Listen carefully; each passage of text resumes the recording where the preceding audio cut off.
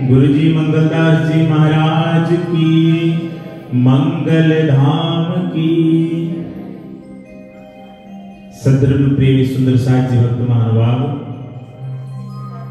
परम पूज्य गुरु जी महाराज के मुखारबिंद से श्रीमुख वाणी की चर्चा प्रारंभ होने जा रही है।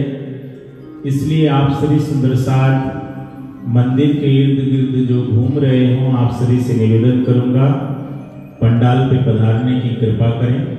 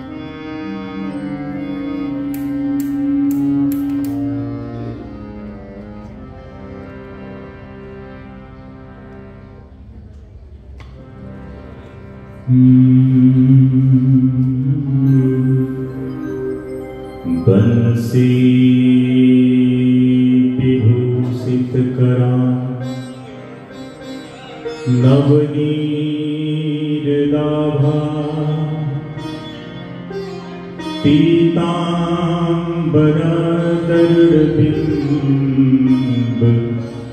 फला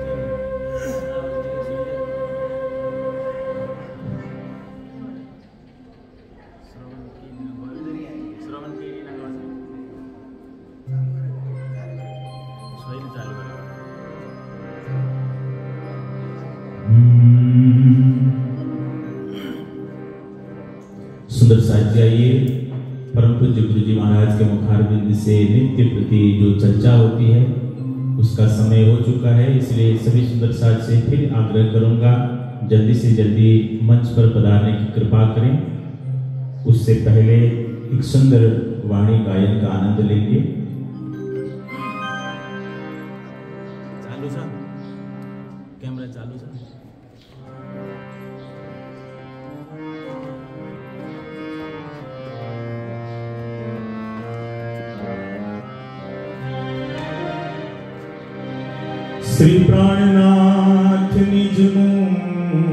मूलपति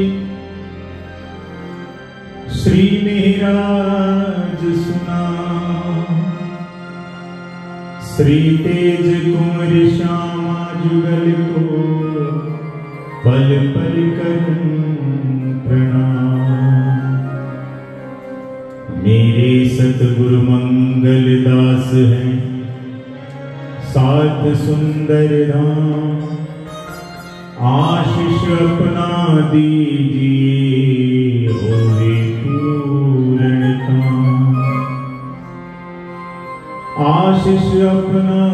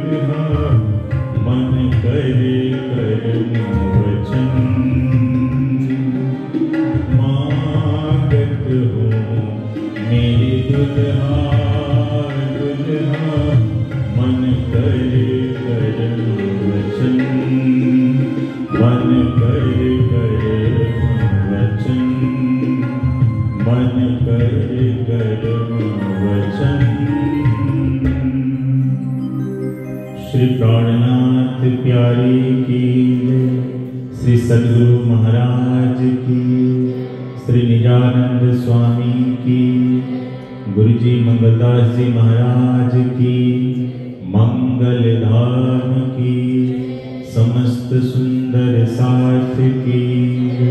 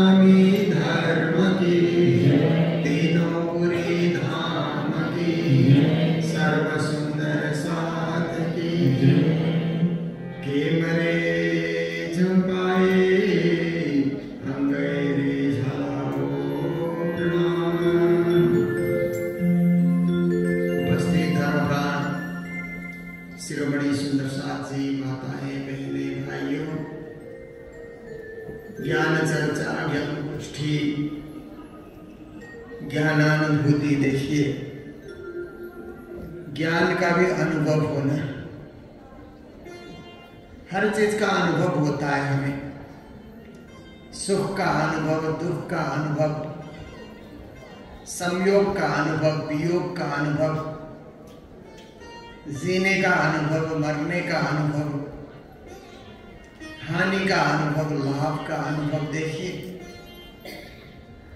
कई लोग अनुभव करते हैं और कई लोगों से अनुभव होता भी नहीं है। पर जहाँ भी जो करें, उसका अनुभव तो लेना ही चाहिए ना। कुछ न कुछ उसका अनुभव ले। जैसे दुख का अनुभव है कहीं यात्रा में हम लोग गए और बहुत दुख झेलना पड़ा। वहाँ पर सुविधा नहीं मिली, रहने की सुविधा नहीं है, खाने की सुविधा नहीं, सोने की सुविधा नहीं।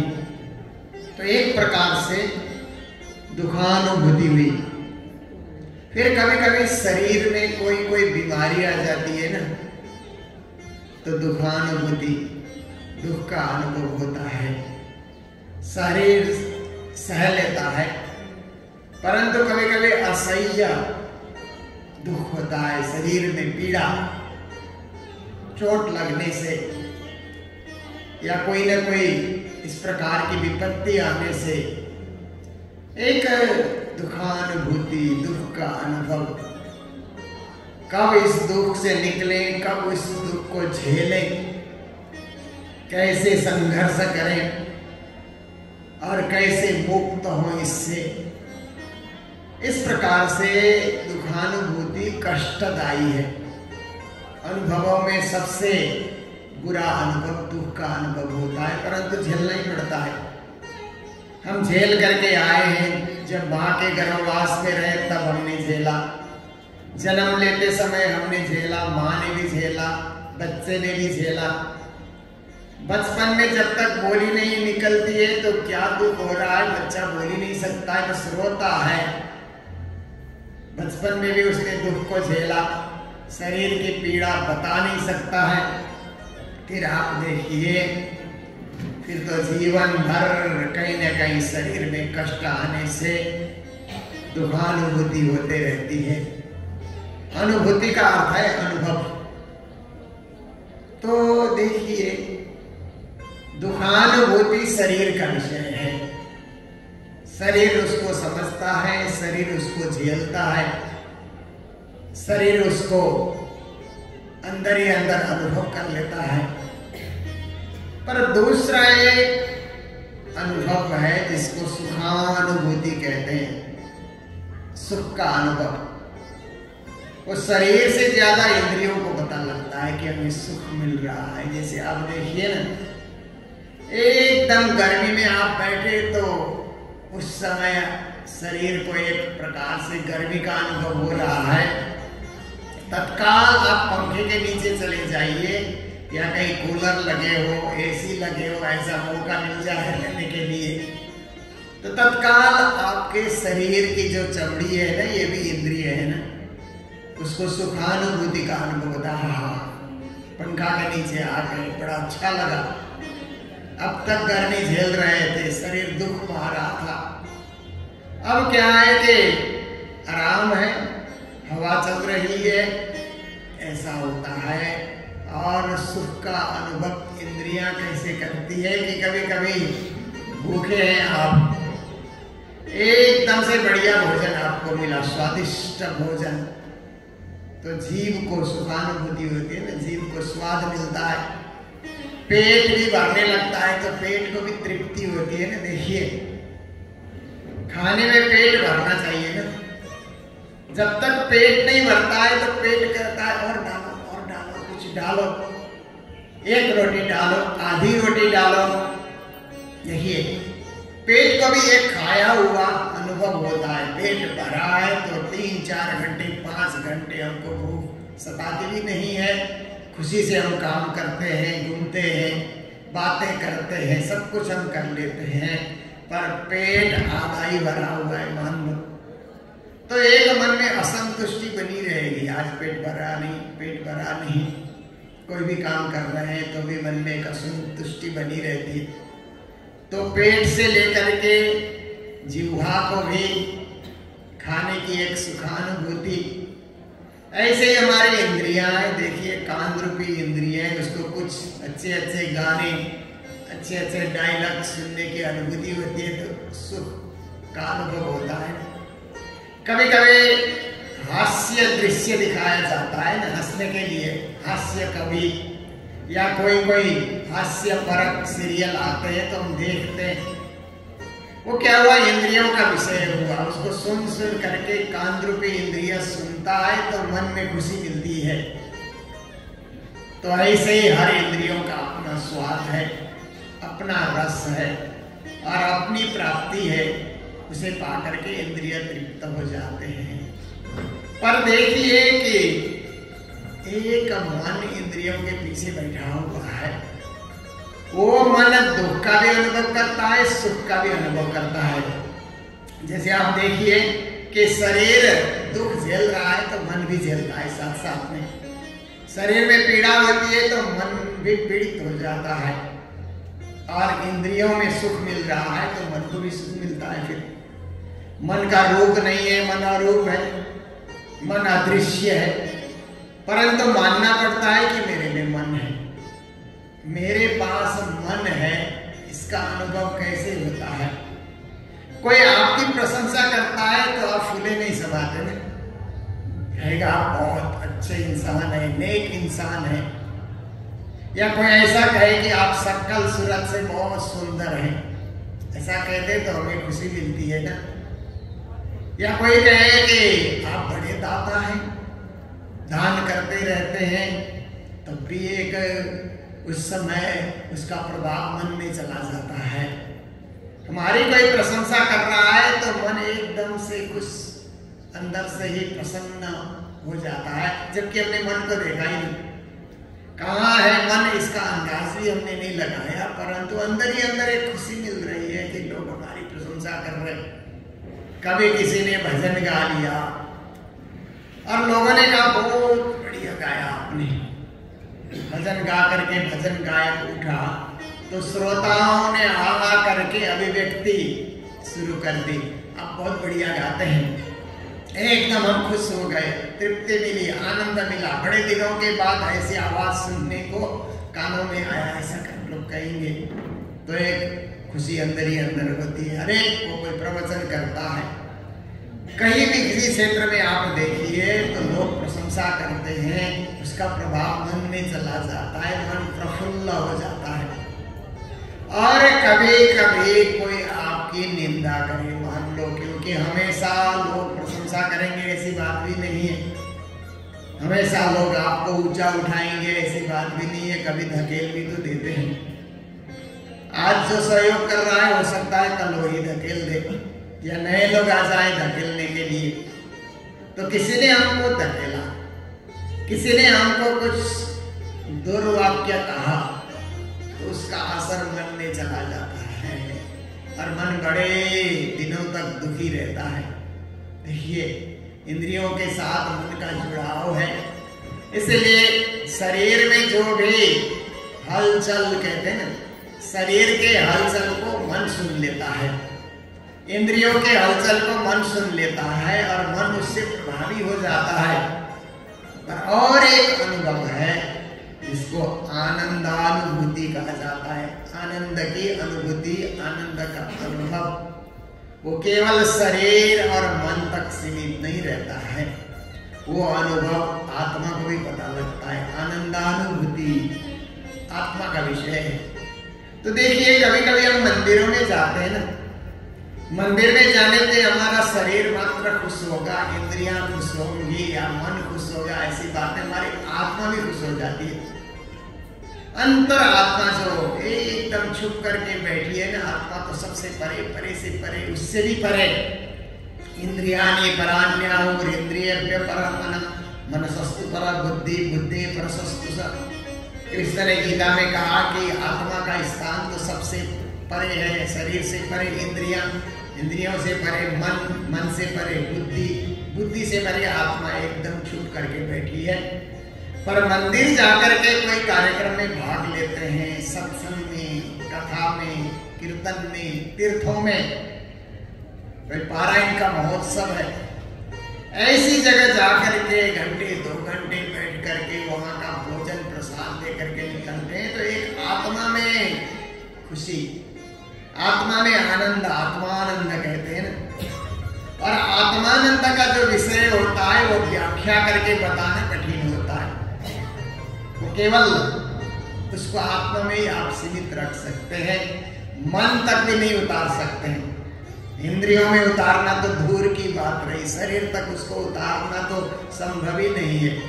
पर आत्मा में एक अनुभव है कभी कभी आप एकांत में बैठ करके मेहर सागर का पाठ कर लीजिए। हमारे यहाँ करते हैं ना कि उनकी जो मंगलधाम आते हैं तो नीचे जो गुरु जी का स्थान है गुरु जी का कक्ष है, कमरा है, जहाँ पर गुरु जी की समाधि है, वहाँ मेहर सागर पाठ करते हैं, माताएँ करती है, भाई लोग करते हैं, जिनको लगता है कि यहाँ ऐसे पवित्र स्थान में कुछ पाठ हम करें। तो आप देखिए, अकेले मेर सागर पाठ कीजिए, अकेले निज नाम का जाप कीजिए। एक अनुभव आपको मिलेगा। और कोई कहेगा कि मेर सागर पाठ करने से क्या मिला तो आप बता नहीं सकते। वो आप ही को मिला। इंद्रियों का सुख बताया जा सकता है, पर आत्मा का आनंद वो बताया नहीं जा सकता। आत्मानुभव गम्य व्याख्यान रहित आनंद। इसीलिए हमारे शास्त्रकारों ने कहा, आनंद क्या है? हम लोग कहते हैं ना, राज्य में सचिद आनंद है। सच्चिदानंद रूपाय श्री राज्य में सत्य भी है चित भी है, आनंद भी है। तो सत्य के साथ जोड़ने का जो आनंद है, वो आत्मा जानती है। ऐसे ही चित घन के साथ जोड़ने का आनंद भी आत्मा जानती है। आनंद के साथ जोड़ने का जो अनुभव है, वो भी आत्मा ही जानती है। आत्मा को पता लगता है, ओहो! धर्म का आनंद, सुंदर साथ के संयोग का आनंद कभी कभी आप शोभा यात्रा में निकलिए, क्योंकि बड़े बड़े कार्यक्रम होते हैं तो बड़ी शोभा यात्रा निकलती है ना। भजन गाते हुए आप आगे बढ़िए, झंडा लेकर के चलिए। बैनर लेकर के आप चलिए तो घूमकर आने का आनंद मिलता है, और शरीर में थकावट का अनुभव भी नहीं होता। शरीर थकता भी नहीं है। मेले में जुलूस में बहुत लंबे हम चल जाते हैं। लौट कर आते हैं तो एक आत्मिक खुशी। फिर कोई कहे कि कैसा लगा आप बता नहीं सकते। आपको तो आनंद आया सो आया। आपके ही अंदर रहा। व्याख्यान करके बताने के लिए आपके पास शब्द नहीं है, शैली नहीं है, भाषा नहीं है। अंदर से अंदर ही आप जानते हैं। वो आत्मा का विषय है। तो वाणी में श्री प्राणीनाथ जी महाराज ने कई दुखानुभूति की बातें भी बताई है। दुख रे, प्यारो मेरे प्राण को ये भी उन्होंने बहुत सुंदर चित्रण करके हमारे समक्ष प्रस्तुत की है कई सुखानुभूति है, मन और इंद्रिय का विषय उस पर भी उन्होंने चर्चा की है। इन इंद्रियों ने को मैं क्या कहूँ? ये तो अवगुण ही को काया, इंद्रिय में सुख तो मिल रहा है, परंतु कभी कभी इंद्रिया अवगुण की ओर भी ज़्यादा जाते हैं। ज़्यादा उसी सुख को बार बार चाहना, ऐसी बात भी ठीक नहीं है, क्योंकि ये भौतिक सुख है। जगत का सुख है, उसमें कितने दिन बधे रहेंगे? जो जगत के सुख में बधे रहेंगे ना, वो मंदिर नहीं आ सकते देखते हैं, वहाँ तो गर्मी लगेगी, पंखे की व्यवस्था भी नहीं होगी। रूम में रहेंगे तो फिर वहाँ ठंडे पानी से नहाना पड़ेगा। क्योंकि मंदिरों में होता है, शाम तीर्थों में जाते हैं, लोग बाँध सरोवर जाते हैं तो कितना ठंडा पानी में डुबकी लगा करके आते हैं ना? मंदिर जाने से ये सब झेलना पड़ता है। घर का सुख वहाँ मिलेगा ही नहीं। जो घर के सुख के आदि हो गए हैं तो तीर्थों में जा ही नहीं सकते। तीर्थ यात्रा के लिए कोई निकले तो पहले से सोचे कि कुछ दुख आए तो झेलेंगे, पर राज्य को पाएँगे। राज्य को पाने में बीच में कुछ ना कुछ परीक्षाएँ तो हमारी होती है ना। उन परीक्षाओं में से हम गुजरेंगे और गंतव्य में जाकर के पहुँचेंगे। अपने लक्ष्य को हासिल करके ही रहेंगे।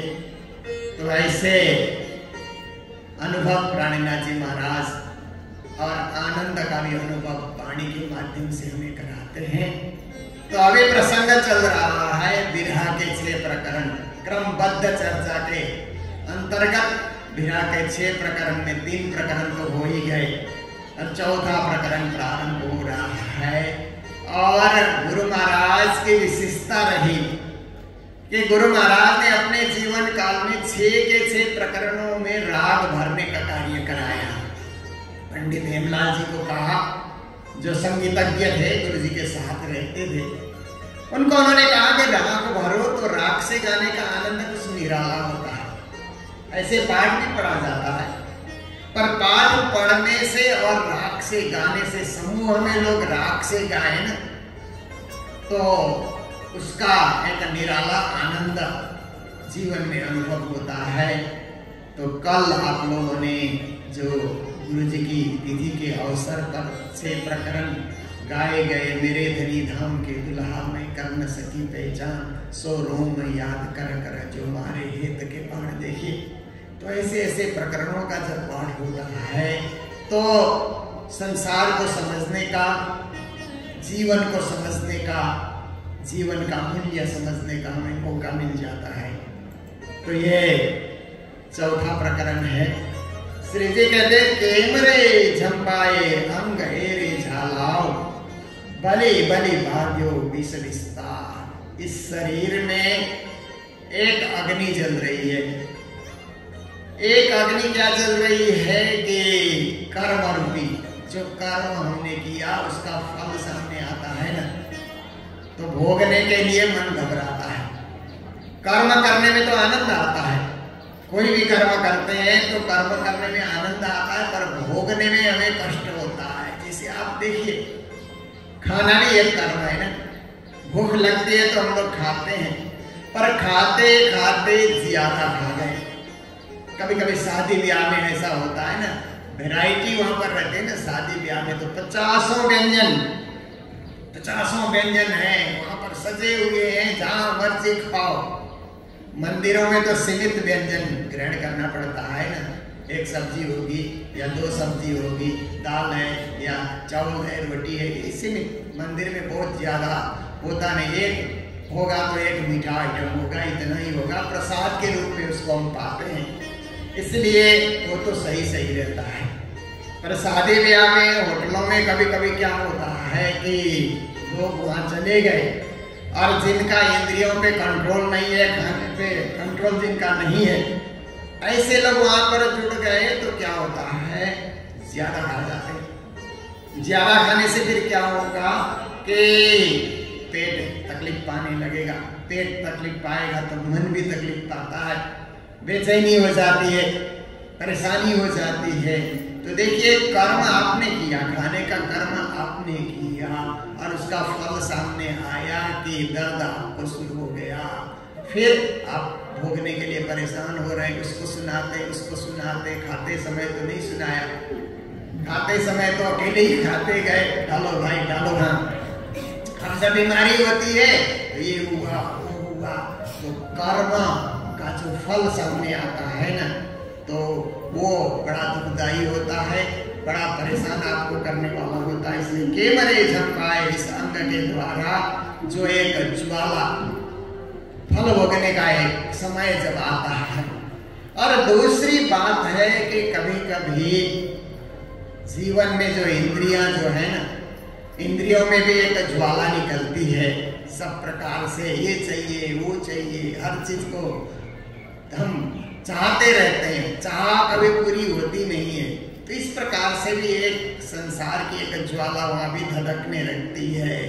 तो श्री जी महाराज कहते हैं, किस प्रकार से भयंकर ज्वाला हमारे मन में आ जाए तृष्णा रूपी ज्वाला इच्छा रूपी ज्वाला कामना रूपी ज्वाला, जब अंदर धड़कने लगे, कहीं भी आग ज़्यादा ज्वाला के रूप में धक धड़कने लगे तो पानी डालना होता है, उसको बुझा देना होता है। आग जल रही है तो उसको और उसको जलने का मौका नहीं देना चाहिए। अंदर ही अंदर चिंता रूपी अग्नि जल रही है तो उसको शांत करने के लिए कोशिश करो, कम करो, उसको ठंडा करो, शीतल करो। तो शीतल कैसे करें? बली बली, बाध्यो, विष, विस्तार, ये विषय रूपी विष का विस्तार तो बार बार बढ़ता ही जा रहा है। और चाहिए और चाहिए, और अधिक ऐसा करके जो चाह है वो कभी मिटती ही नहीं है।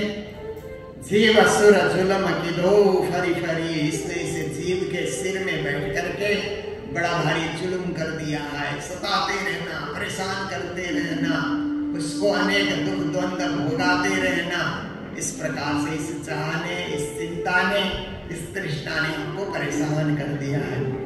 हटियो हरामी, अंग इंद्री विकार और ये इंद्रियों को श्री जी ने हरामी करके, ये तो गाली का शब्द है ना।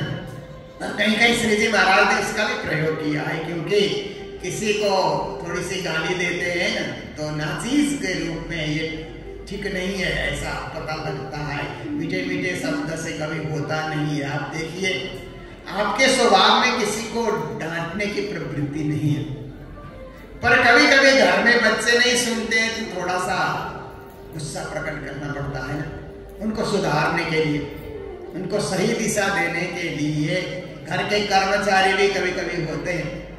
आपका स्वभाव सरल है, मिलनसार है, सबका हित आप चाहते हैं। परंतु आपका ही, आप जो हित कर रहे हैं, उसका लोग फ़ायदा उठा रहे हैं। तब तो आपको थोड़ा सा आर्टिफिशियली सही गुस्सा करना पड़ता है ना, उन सबको सुधारने के लिए, उन सबको सही दिशा देने के लिए। तो श्री प्राण तो थोड़ा सा तो आप कटुवाक्य बोलेंगे कुछ उच्चारण करेंगे, कुछ गालियाँ भी देंगे, कुछ अब शब्द का भी कभी कभी प्रयोग किया, ताकि उनमें सुधार आ जाए। तो श्री प्राणीनाथ जी महाराज ने भी कहीं कहीं जैसे हरामी कहने कहने से बहुत बड़ी गाली हो जाती है। तुम बड़े हरामी आदमी वैसे किसी को बोल दिया जाए श्री जी ने क्या कहा कि इंद्रियों को कहा, अपने ही इंद्रियों को। हम भी अपने इंद्रिय को इस तरह से डांट सकते हैं तो इंद्रिय फिर हमारे बस में हो जाएँगे। जैसे बहुत खाने पीने की इच्छा हो रही है जीव रूपी इंद्रिय को तो रामी ऐसे करके मन ही मन कहना है लोगों लोगों को सुनाने के लिए नहीं। खुद को सुधारने के लिए तो अंदर ही अंदर प्रयोग होता है। लोगों को सुधारना है तो वाक्य प्रयोग किया जाता है। अपने आप को सुधारना है तो अपने ही अंदर की भाषा अपने ऊपर प्रयोग किया जाता है। तो कहते हैं कि हे हाथी, इंद्रिया, हे हरामी इंद्रिया, अंग इंद्रिय विकार अरे विकार से भरी हुई इंद्रिया क्योंकि इंद्रियों में तो विकार है। इंद्रियों की सोच में भी विकार है और इंद्रियों के क्रिया में भी विकार है। जो क्रियाएँ इंद्रिया करती है, उसमें तो विकार ही है। दिन भर आँख देखती है तो उसमें भी मैल जम जाता है फिर रात को सोते हैं सुबह उठ करके सबसे पहले तो आँख को ही धोना पड़ता है। सुबह आप देखिए ना, नाना बात में होता है, आप जैसे जागे तो जागते ही मन करता है, आँख दो आँख दो बिना आँख धोए आप कमरे में भी नहीं तो पूरा दिखलाई भी नहीं देता है। पूरा देखने के लिए और थोड़ी ताजगी लाने के लिए आँख धोना बहुत ज़रूरी है। तो हर इंद्रियों में इस प्रकार की जो क्रियाएँ करती है इंद्रिया, उनका परिणाम विकार के रूप में उत्पन्न होता है। तो ये तो क्या है? बाह्य विकार है, जिनको धोया जाता है, साफ़ किया जाता है। एक सोच में विकार आ जाना। इंद्रियों की सोच में भी विकार आ जाते हैं। उनको केवल धर्म के ज्ञान से, गुरु के ज्ञान से, प्रवचनों से, समझदारी से उनको दूर किया जा सकता है, उनको धोया जा सकता है, उनको निर्मल बनाया जा सकता है। तो श्री जी महाराज कहते हैं, इन इंद्रियों के हट पूर्वक बल पूर्वक जो संसार में घसीटने की आदत है, उनको भी कैसे करके हम शांत करें? झाप झालाओ, हवे उठती वो अंगति, इस शरीर से ज्वालाएँ निकल रही है। और जैसे आग जहाँ पर जलती है तो उसकी ज्वालाएँ एकदम ऊपर ऊपर लहरें लेते हुए और आकाश को छूने के लिए ऊँचे ऊँचे तक चली जाती है। ऐसे ही हमारे अंगों में भी एक यहाँ पर विरह की बात भी चल रही है, क्योंकि सुंदर साथ उदयपुर का ये प्रसंग है। सुंदर साथ मुगल सेना ने वहाँ घेर रखा है। सुंदर साथ कष्ट पा रहे हैं। तो ऐसे समय में एक रूपी अग्नि क्या होगा, कैसे होगा? कैसे ज़िंदा रहेंगे? परिवार को कैसे बचाएँगे? धर्म, संस्कृति और परंपराओं को कैसे बचाएँगे? इस तरह से भी उनके मन में क्या है कि ये विरहा विरहाग्नि की ज्वाला भी धधक रही है। सुखा शीतल अंग अंग नानी ढाल हे धनी आप दर्शन दीजिए कृपावान बन करके। सुख बरसाइए, शीतलता बरसाइए। और अंग में एक शांति बरसाइए। अंग में इंद्रियों में शांति आ जाएगी, क्योंकि अशांति की घड़ी में कोई सुखी नहीं हो सकता। है आप अशांत हैं, आपके सामने एक थाली भोजन ला करके रख दे तो आपको सुख का अनुभव होगा ही नहीं। अब कहेंगे हटाओ हटाओ ये खाने का समय थोड़ा ही है, क्योंकि मन अशांत है। अशांत मन है तो कोई ला करके आपको अच्छे अच्छे कपड़े दे, गहने डाल दे आपके सामने, सुंदर सुंदर चीज़ें रख दे। नहीं मन करता है उसको उठाने के लिए, क्योंकि अशांति की स्थिति में कुछ भी अच्छा नहीं लगता। इसीलिए शांति दीजिए, हे राज्य महाराज। मन में शांति आ जाए तो सब कुछ की प्राप्ति हो जाएगी। शीतलता भर दीजिए। बलिया, बलि, बलिए, मन कबूदे बार बार ये मन है ना, कुबुद्धि की ओर चला जाता है। मन में सदबुद्धि आ जाए, सुबुद्धि आ जाए, पर मन में ज़्यादा कुबुद्धि आती है ना, क्योंकि नेगेटिव थिंकिंग कहते हैं ना आजकल। जल्दी से हम नकारात्मक सोच ले लेते हैं, प्रकट कर लेते हैं। कहीं भी कुछ देखते हैं, कुछ दृश्य होता है तो उसका नेगेटिव जो साइड है, उसको हम जल्दी से दिमाग में घुमा लेते हैं, फैला लेते हैं। उसका पॉजिटिव जो साइड है, क्योंकि हर चीज़ में नेगेटिव और पॉजिटिव तो बिजली में भी आप देखिए, जीवन में भी, सोच में भी, विचार में भी, चिंतन में भी एक सकारात्मक सोच है, एक नकारात्मक सोच है। इस तरह से दो प्रकार की सोच है। तो ये तो चलते रहता है। तो श्री जी महाराज कहते हैं, ज़्यादा सकारात्मक सोच आ जाए वाणी सुन करके। मंदिर आए और लौट करके गए तो सोच में सकारात्मक विचार आ जाए। आप देखिए, यात्रा कर रहे हैं ना तो हम गंतव्य में पहुँचेंगे सही सही पहुँचेंगे, ऐसी सोच लेकर के यात्रा आप कीजिए। क्या होगा? कहीं फंसेंगे, कहीं कुछ होगा, तकलीफ़ पाएँगे, अटकेंगे, ऐसा सोच करके क्यों निकलना? इसलिए हम लोग यात्रा करते हैं तो सदा महामती दाइने सन्मुख बाई जुराज नाम ले तो छत्र साल का सिद्ध होवे सब काज ये चौपाई पाठ करके चलते हैं कि राज्य कृपावान बन जाए प्राणनाथ जी कृपावान बन जाए, सारे कार्य सिद्ध हो जाएँगे। वो सकारात्मक सोच विस्तृत करने के लिए है। और नकारात्मक सोच आ जाए क्या होगा, कैसे होगा? जब हवाई जहाज़ में चलते हैं ना, एकदम आकाश में उड़ता है ना, तब सकारात्मक सोच ही रखना होगा। जब तक हवाई जहाज़ उतरेगा लैंडिंग करेगा, तब तक सकारात्मक सोच रख करके चलना है कि राज्य है ना राज्य है ना, ऐसा करके। क्योंकि गाड़ी तो ज़मीन में चलती है तो इतना डर नहीं होता है। पर आकाश में उड़ रहा है। तो समय नकारात्मक सोच जो व्यक्ति लेगा ना, वो घबरा जाता है। तो थोड़ा थोड़ा कहीं कहीं वो वेदर खराब होने से हवाई जहाज़ हिलता है ना, बड़ा उसको समय डर सताता है।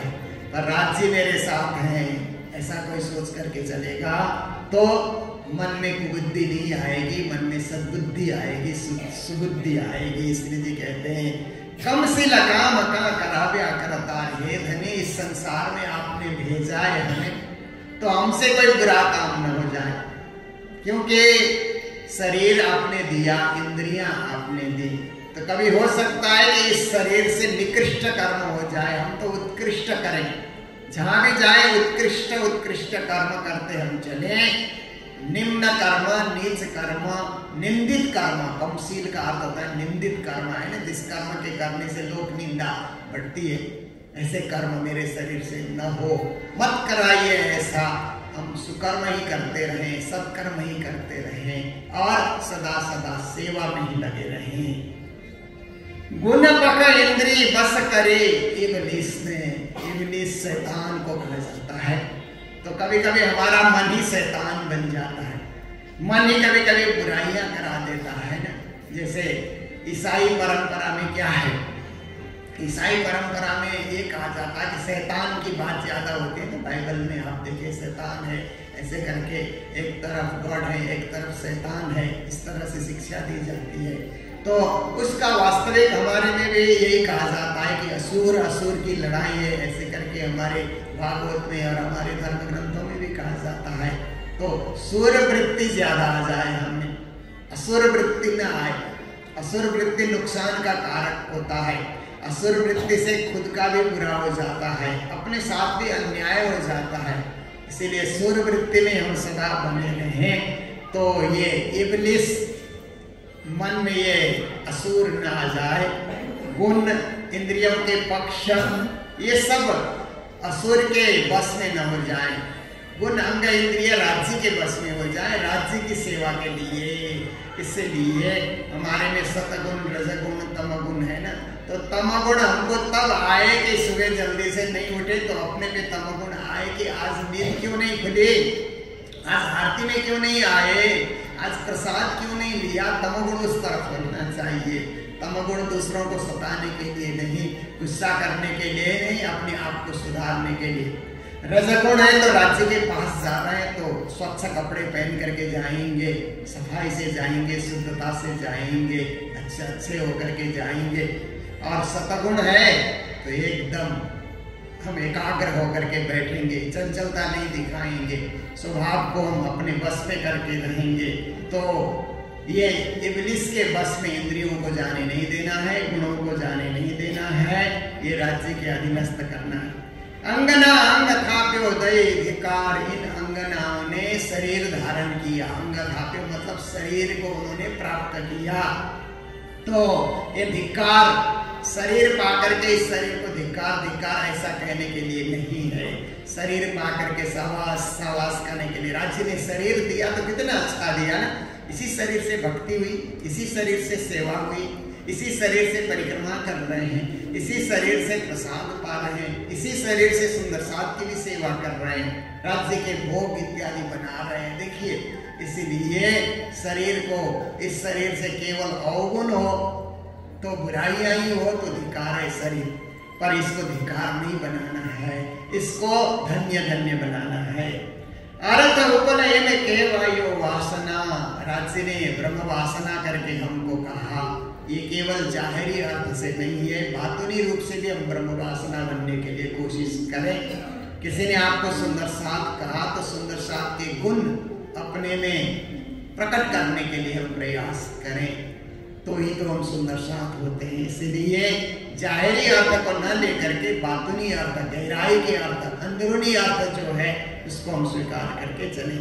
फरी यानी बचने दीदी फिटकार, यदि हमने वो गुण धारण नहीं किए, वो सतगुण हमने नहीं जगाया या वो निर्गुण भाव हमने नहीं जगाया तो कभी कभी शरीर ही धिकार हो जाता है इंद्रिया ही धिकार हो जाते, जन्म लेना व्यर्थ रहा। पूरे जन्म में कोई सत्कर्म नहीं कर सके, कोई भजन भक्ति नहीं कर सके तो जन्म लेना भी व्यर्थ हो जाता है। कभी कभी जब हम मृत्यु सैया में पड़े हैं, एकदम बिस्तर में हम लेटे हैं, ऐसे समय में हम खुद को धिकार रहे हैं। व्यर्थ जन्म गया धिकार है मुझे, कोई तीर्थ नहीं, व्रत नहीं, दान नहीं, पुण्य नहीं, सेवा नहीं, भक्ति नहीं, सुमिरन नहीं, कुछ नहीं, ऐसे करके पछतावा हो जाए उस समय। फिटकार मतलब अपने आप को धिकारने लगे। ऐसी स्थिति हमने नहीं हो। धन्य है, हम तो मंदिर भी गए, तीर्थ भी गए, राज्य की भक्ति भी की। जब तक शरीर साथ दे रहा, कुछ हमने छोड़ा ही नहीं। अब शरीर साथ नहीं दे रहा है तो भी तो निज नाम तो हम नहीं छोड़ रहे हैं। जब भी रहे हैं ना, निज नाम सोए सोए तो हमको धन्य है धन्य है। ऐसे अपने आप को धन्य कहने का अवसर मिले। अब अंतिम चौपाई में कहते हैं, मायने मायने झोपे जारे जो ये जब हम अंदरूनी अर्थ को गहराई से हृदय से अनुभव अर्थ कहते हैं। एक तो ज्ञान का अर्थ है जो पढ़ने से मिलता है। एक अनुभव का अर्थ है जो सोचने से मिलता है। चिंतन से मिलता है अनुभव का अर्थ। इसलिए अनुभव का अर्थ जब हमको मिल जाता है कि जीवन का मूल्य क्या है, जीवन का अर्थ क्या है, जीवन का रहस्य क्या है, जब हम अच्छी तरह उसको समझते हैं प्यारे दीदा तारुणी तन तस्कार उस समय ब्रह्म आत्माओं को ऐसे लगता है कि आज तक का समय निरर्थक क्यों गया? अब आगे तो समय सार्थक हो रहा है, जब से पहचान हुई, पर पहचान होने के पूर्व का जो समय निरर्थक गया कभी कभी लगता है। बचपन में ये ज्ञान मिलता तो हम कितनी चौपाइयाँ याद कर लेते, कितने भजन याद कर लेते, कितने ज्ञान हम याद कर लेते। तो इस तरह से कभी कभी सखियों को लगता है कि समय से सब कुछ की प्राप्ति क्यों नहीं हुई और समय से आत्मा जागृति क्यों नहीं हुई? तो कभी कभी इस शरीर को लगता है कि शरीर से अशुभ काम ऐसे समय से क्यों हो गया? नहीं होना चाहिए। शुभ शुभ काम होना चाहिए। मंगल मंगल काम होना चाहिए। कल कले महामती कहे वो कंध जी, महामती उन सखियों के समूह का जो विरह पुकार है आत्मसात करते हुए उन समूह की इच्छा और समूह की इच्छा को अपने में समेटे हुए प्राणनाथ जी राज्य से पुकार कर रहे हैं। एवा स्यारे दोष अंगनाम ने आधार हे, आधार धनी, अपनी अंगनाओं को दोषी मत बनाइए। निर्दोष करके उनको छोड़ दीजिए। देखिए अब देखिए ना कभी कभी कोई केस होता है ना, कोर्ट कचहरी जाना पड़ता है, पुलिस के पास जाना पड़ता है। वहाँ पर बयानबाजी होती है, साक्षी देने वाले लोग पहुँचते हैं विटनेस देने के लिए। और आपको निर्दोष साबित करके छोड़ दिया जाए वहाँ से तो कितनी खुशी होती है आपको कि ये व्यक्ति निर्दोष है। ऐसे इस पे आरोप लगा, दोषारोपण ऐसे ही हुआ, व्यक्ति बिल्कुल निर्दोष है तो एकदम प्रसन्नता के साथ आप लौट करके आते और वहाँ जो जज बैठा हुआ है, कहीं, ये दोषी है। कल्पित है, ऐसा करके कोई कह दे तो कितना जीवन भर उसका दुख होता है। ऐसे ही हम इस जगत में आए हैं और राज्य हमको कहें कि तुम निर्दोष हो। कितनी अच्छी बात है ना? कितनी खुशी होगी और कितने राज्य के चरणों को हम धो धो करके पिएँगे कि राज्य महाराज, आपने दुनिया में गए, पर आपने निर्दोष साबित कर दिया हमें। तो कहीं राज्य दोषी न हमको साबित करना, इसलिए हम प्रार्थना कर रहे हैं। अभी से पुकार लगा रहे हैं कि अपनी अंगनाओं को आप निर्दोषी करें निर्दोषी साबित कर दें। ऐसी आप कृपा बरसाएँ, ऐसी आप करुणा बरसाएँ। ये इस प्रकरण का सार है, रहस्य है, जो आप लोग नित्य प्रति चर्चा के माध्यम से सुनते हैं और हम लोगों का कार्यक्रम चल ही रहा है। गुरु जी की तिथि भी चालीसवीं पुण्य तिथि भी अच्छी तरह से हो गई। क्योंकि हम लोग देख रहे थे कि सुबह सुबह बरसात हुई ना तो आज क्या होगा, आज क्या होगा, कैसे होगा, इतनी सुंदर साथ आएँगे। और मंगल धाम की परिधि ऐसी है। हम लोगों ने कोशिश तो की है कि बिना भीगे एक घर से दूसरे घर चले जाएँ। फिर भी ज़्यादा बरसात होगी और ज़्यादा संख्या में सुंदर साथ रहेंगे तो कुछ न कुछ परेशानियाँ होती है, पर राज्य ने कृपा करके गुरु महाराज की असीम कृपा की सब कार्यक्रम अच्छी तरह हो गया। इतने आरती सजे इतने सुंदर साथ ने वो आरती के समय में इतनी भीड़ कहाँ से आती है, हम लोगों को पता नहीं लगता है। पहले तो भीड़ कम दिखती है, पर जब आरती सजती है, आरती उतरती है तो ऐसा लगता है कि इतने सुंदर साथ कहाँ से आए। तो सब आते हैं, सब आरती करते हैं, सब प्रसाद पा करके जाते हैं, प्रसन्नता को लेकर के जाते हैं। यही तो राज्य के सामने निर्दोष साबित होने का एक उपाय है। ऐसे उपाय हम जीवन में करते रहें। अब प्रथम दिन का कार्यक्रम तो कल हो ही गया, वाणी चर्चा और भागवत का संस्वादन आज से फिर ढाई बजे से इसी मंच पे आप सब लोग मिलेंगे, आएँगे। और भक्ति रस का स्वादन करेंगे। ढाई से साढ़े पाँच का हमारा कार्यक्रम है। छः बजे आरती होती है तो उससे पहले पहले हम लोग पूरा कर लेंगे यहाँ सारा कार्यक्रम। तो ये 26 तारीख तक कार्यक्रम चलना है। 26 तारीख का जो कार्यक्रम होगा, वो सुबह में ही हो जाएगा। करीब 9 से 11 बजे ही हम लोग पूरा कर देंगे, क्योंकि उस दिन हम लोगों को दिल्ली की यात्रा भी करनी है। तो ये सब चीज़ें आपके सामने है। जो फल सामने आया है, उसको चखिए रसपान कीजिए, स्वाद लीजिए और जीवन को स्वादिष्ट बनाइए। इन्हीं शब्दों के साथ आज जो भंडारे की सेवा आई है, परमधाम वासी दीनदयाल अग्रवाल सिलीगुड़ी, उनकी धर्मपत्नी यहाँ पर आई हुई है, नारायणी देवी अग्रवाल, पुत्र अनिल, पुत्र बधु अनु सबकी ओर से, सब परिवार की ओर से, भंडारे की सेवा में प्राप्त हुई है और काठमांडू से आए हुए किरण और उनकी मंडली सुंदर साथ ने भी भंडारे की सेवा दी है।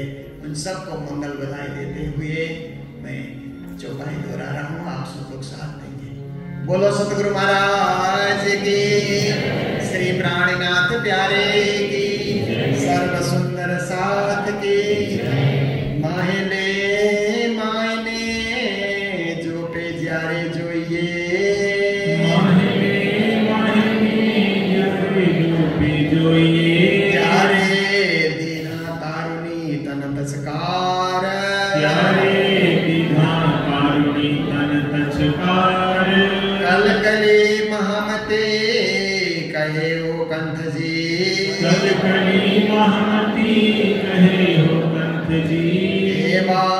प्यास